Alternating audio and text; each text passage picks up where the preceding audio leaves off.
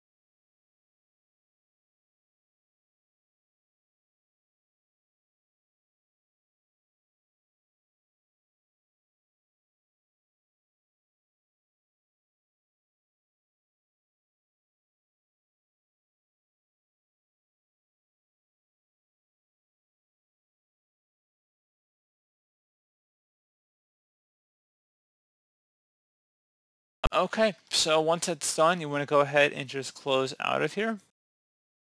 Next you want to go ahead and do here as well would be to right click on the start button, select shutdown or sign out, and select restart.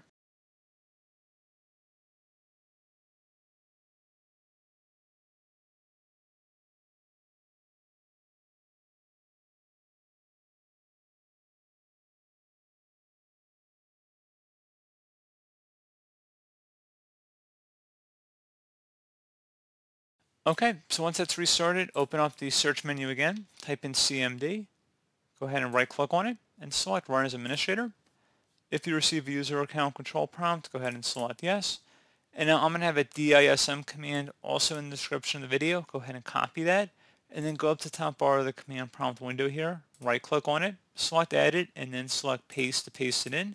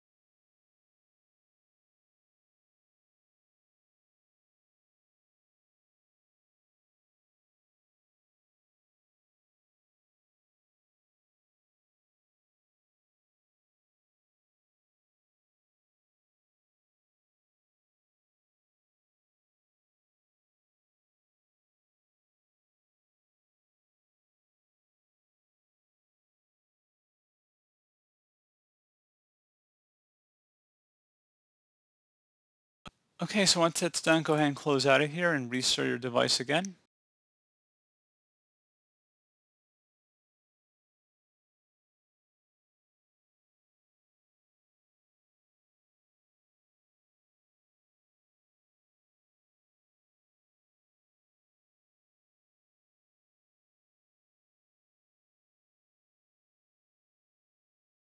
Hopefully that was able to resolve your problem at this point. So as always, thank you guys for watching this brief tutorial. I hope I able to help you out, and I do look forward to catching you all in the next tutorial. Goodbye.